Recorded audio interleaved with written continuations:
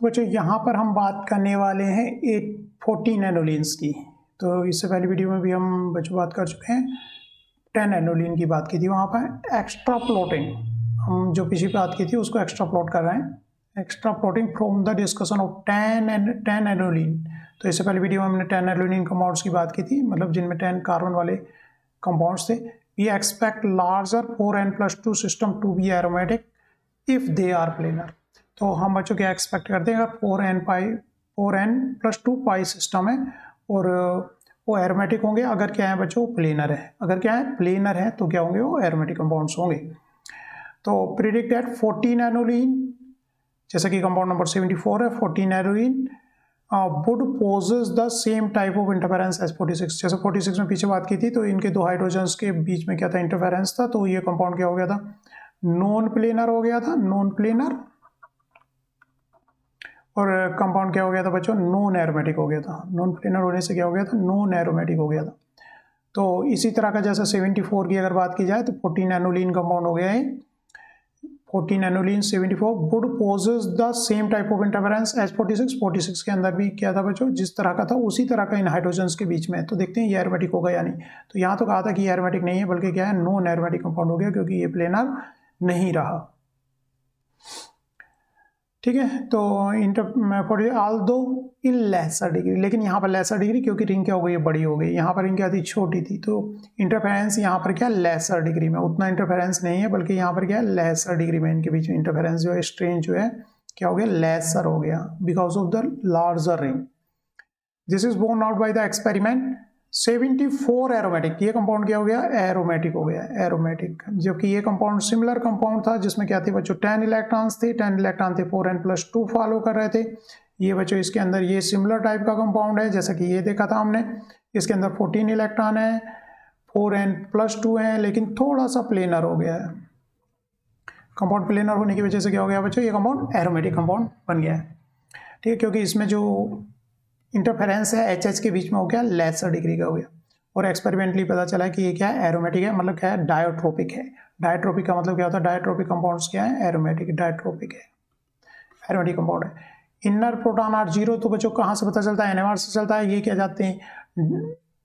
ये जो जाते हैं बच्चों ऑफ़ फ़ील्ड जाते हैं अप फ़ील्ड मतलब इनकी डेल्टा वैल्यू अराउंड ज़ीरो या उससे निगेटिव भी चली जाती है। और बाहर वाले जो प्रोटॉन्स होते हैं, वो क्या जाते हैं? डाउन फ़ील्ड जाते हैं। अराउंड डेल्टा वैल्यू कितनी? सेवन है उसके आसपास जाती है। तो वहाँ से पता चला है कि outer electron seven seven point six है।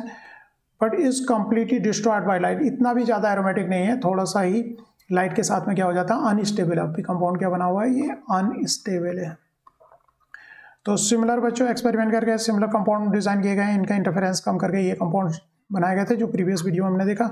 और ये सारे के कंपाउंड क्या हो गए थे बच्चों? सारे के सारे एरोमेटिक में चेंज हो गए थे। इनका इंटरफेरेंस करके यहाँ पर क्या लगा दिए थे? ब्रिज लगा दिए थे। आगे बच्चों बात करते हैं। इसके अंदर भी। तो इसी तरह से फोर्टीन एनोलिन के बच्चों कुछ stable number of stable bridge annulene have been prepared तो जैसे कि 75, 76, 77, 78 सबके अंदर कितने हैं? 14 इलेक्ट्रॉन है। तो बच्चों यहाँ 78 को छोड़ रहे और जो है बाकी जो कंपाउंड की अगर बात करें 75, 76, 77 ये सारे के सारे कंपाउंड क्या है? एरोमेटिक है। 78 अभी देखेंगे रीजनिंग वो क्या हो जाता है? नॉन एरोमेटिक रहता है वो एरोमेटिक नहीं है। नॉन एरोमेटिक है रीजनिंग क्या है? देखते हैं। ब्रेजिंग इसमें इस तरह की ब्रेजिंग है लेकिन इसमें क्या है? एक अप एक डाउन हो गया तो अप डाउन होने से बच्चों ये मोलिक्यूल क्या बेंट हो गया है। ये वाला तो इधर को मुड़ेगा और ये वाला इधर को होगा। तो जो रिंग करंट है, आपस में इलेक्ट्रॉन के पी ऑर्बिटल ओवरलैप होने चाहिए थे ओवरलैप इसमें नहीं हो पा रहा है, क्योंकि ब्रिजिंग थोड़ी डिफरेंट होगी। बाकी इनमें अप्रोक्सीमेटली क्या है? इनके अंदर क्या है बच्चों? प्लेनिटी लगभग लगभग है अप्रोक्सीमेट प्लेनर कंपाउंड्स हैं। थोड़ी सी प्लेनिटी नहीं है, लेकिन ऑलमोस्ट पी ऑर्बिटल्स जो इनके ओवरलैप कर रहे हैं फिर भी। तो बच्चों the dihydropyrene 75 is undoubtedly aromatic क्योंकि उस तरह का इंटरफेरेंस है नहीं। सी एस थ्री एक बैक साइड है, एक अप साइड है तो इस तरह के हाइड्रोजन हाइड्रोजन का इंटरफेरेंस इसके अंदर तो है नहीं। ऐसे बच्चों the five parameters approximately planar है the mo molecule undergo aromatic substitution and is diatropic diatropic है। 76 और 77 भी कैसे हैं बच्चों? डायट्रोपिक है मतलब एरोमेटिक है। कौन से? 76 और 77 जो हमने किया गया है बच्चों, यहाँ पर ब्रिजिंग कर दी। ये सेम कंपाउंड है, इसके हाइड्रोजन हाइड्रोजन का इंटरफेरेंस कम कर दिया और ब्रिजिंग कर दी। ये कंपाउंड भी एरोमेटिक था, लेकिन उतनी एक्सटेंट में एरोमेटिक नहीं था। ये थोड़ा सा अनस्टेबल कंपाउंड था। इनकी ब्रिजिंग करके ये स्टेबल कंपाउंड्स बनाए गए हैं। 78 की अगर बात की जाए 78 in which the geometry of the molecule Jain greatly reduce the overlap of p orbital at the bridge head position with adjacent p orbitals. तो क्योंकि इसके ब्रिड हैज़ जो है, उनकी ओवरलैपिंग दूसरे एडजेसेंट के कार्बन से रिड्यूस हो गई, क्योंकि ये क्या हो गया? प्लेन नहीं रहा इज़ डेफिनेटली नॉट एरोमेटिक ये कंपाउंड जो नॉन एरोमेटिक हो गया एरोमेटिक हम नहीं रहा। कौन सा? 78 नॉन एरोमेटिक हो गया नॉन एरोमेटिक जबकि ये वाले कंपाउंड्स क्या है? एरोमेटिक है। इनमें कितने इलेक्ट्रॉन्स है? प्लेनर और कितने इलेक्ट्रॉन हो रहा है? फोर्टीन पाई इलेक्ट्रॉन हो रहा है। ठीक है तो बच्चों, यहाँ पे ये हमने देखा। Another way of eliminating the hydrogen interference तो हमने यहाँ पे क्या किया? हाइड्रोजन का इंटरफेरेंस रिड्यूस कर दिया। यहाँ पर हाइड्रोजन हाइड्रोजन की जगह एक ब्रिजिंग लगाई, दूसरे हाइड्रोजन हाइड्रोजन की जगह दूसरी ब्रिजिंग लगाई। तो कंपाउंड में थोड़ी सी प्लेनिटी आ गई और कंपाउंड क्या हो गए बच्चों? एरोमेटिक हो गए दूसरा वे क्या है? अनदर वे दूसरा वे क्या है? एलिमिनेट करने का hydrogen interference fourteen annulene is to introduce one or more triple bond तो वहाँ पर क्या लगा दी? ट्रिपल बॉन्ड लगा दी। तो ट्रिपल बॉन्ड लगाने से भी क्या हो जाएगा? उनके दो हाइड्रोजन कम हो जाएँगे। Triple bond into the system थोड़ा सा क्या हो जाएगा? लीनियर मोलिक्यूल हो जाएगा दूर दूर हो जाएँगे। और 79 जो कंपाउंड है, ये भी क्या है? एरोमेटिक कंपाउंड है। अल्फाइव non fourteen annulene are diatropic diatropic 79 can be nitrated, sulfonated मतलब जो एरोमेटिक कंपाउंड्स की सारी प्रॉपर्टी है शो करता है। Extra electron of the triple bond don't form part of the aromatic system तो ये जो एक्स्ट्रा इलेक्ट्रॉन रहेगा, वो एरोमेटिक सिस्टम का पार्ट नहीं होगा। जैसे कि प्रीवियस हमने देखा था केवल डबल बॉन्ड काउंट इसमें होगा फोर्टीन इलेक्ट्रॉन में। नंबर ऑफ़ इलेक्ट्रॉन कितने? One bond two bond three bond four five six और एक ये सेवन मतलब ये फोर्टीन पाई इलेक्ट्रॉन है। फोर्टीन एन पाई इलेक्ट्रॉन है तो four n plus two follow कर रहा है। एन इज़ कल अगर आप रखोगे थ्री यहाँ पर। तो कंपाउंड कैसा और प्लेनर भी हो गया तो कैसा कंपाउंड है? एरोमेटिक है। क्योंकि यहाँ पर इंटरफेरेंस दो टू हाइड्रोजन का हो, कम हो गया है। क्योंकि यहाँ से क्या हो गया बच्चों? लीनियर मॉलिक्यूल हो गया ट्रिपल बॉन्ड से तो ये दूर दूर चले गए hydrogen and eighty is reasonably और कंपाउंड एटी है, थोड़ी सी बिग रिंग हो गई है। तो एट इज़ रीजनेबल स्टेबल तो इस कितने इलेक्ट्रॉन है? One two three four five six seven eight nine nine मतलब कितने इलेक्ट्रॉन हो गए बच्चों? एटीन पाई इलेक्ट्रॉन हो गए एटीन पाई इलेक्ट्रॉन हो गए four n plus two n equal to कितने रखने पर आ रहा है? फोर रखने पर। और अल्टरनेट डबल बॉन्ड से double bond single bond double bond cyclic है। और क्या हो रहा है? कंपाउंड भी प्लेनर भी हो रहा है, इतना इंटरफेरेंस है। और रिंग बड़ी होगी हाइड्रोजन हाइड्रोजन के बीच में इतना इंटरफ्रेंस आपस में नहीं रहा है। तो कंपाउंड प्लेनर भी है। इसे 80 is reasonably stable and 80 has been estimated to have a resonance energy about 37 kilo calorie per mole तो इसकी तो रेजोनेंस एनर्जी एरोमेटिक रिंग से भी ऊपर निकल गई है 36 मतलब ऑलमोस्ट सिमिलर क्योंकि उसकी 36 होती है। Similar to that of benzene इतना एरोमेटिक हो, हो गया है।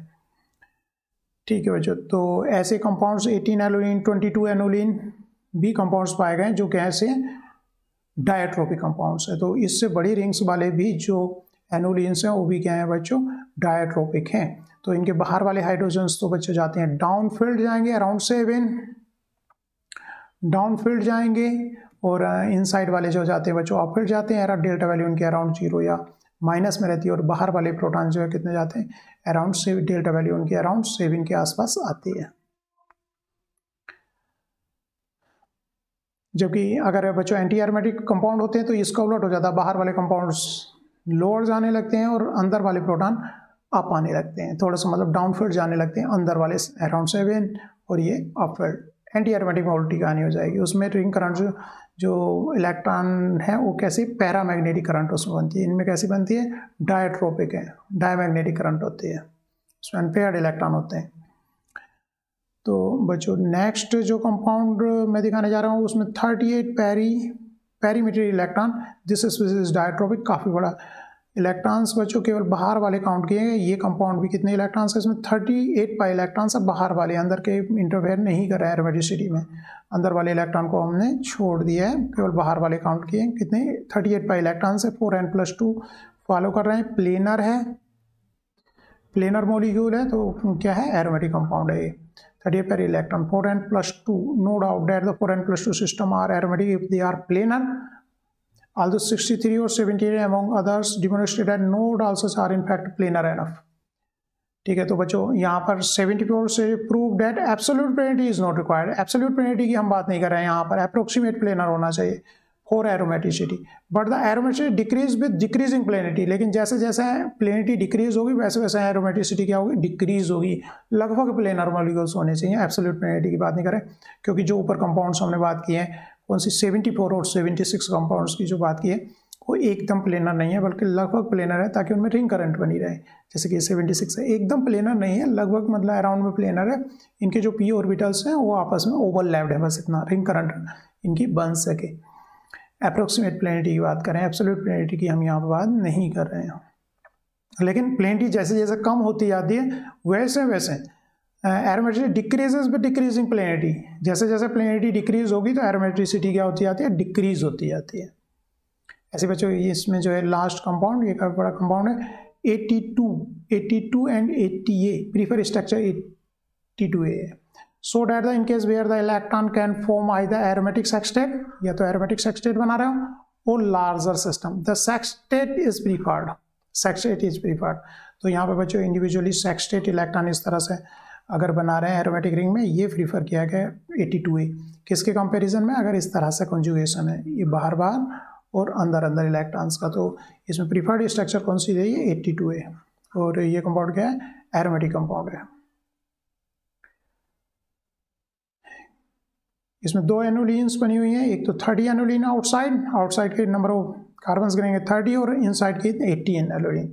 लेकिन इसमें जो सेक्सटेड वाले इलेक्ट्रॉन्स हैं, इस तरह का अगर अरेंजमेंट है तो वो प्रीफर किया गया तो ये कंपाउंड किसमें रहना चाहता है? एट्टी टू ए में रहना चाहता है, जो कि एन स्टडी से पता चला है कि प्रीफर्ड स्ट्रक्चर जो कंपाउंड की गया है, एट्टी टू ए है।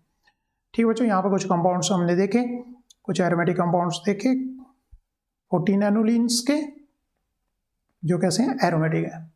थैंक यू कुछ कंपाउंड्स नेक्स्ट वीडियो में देखें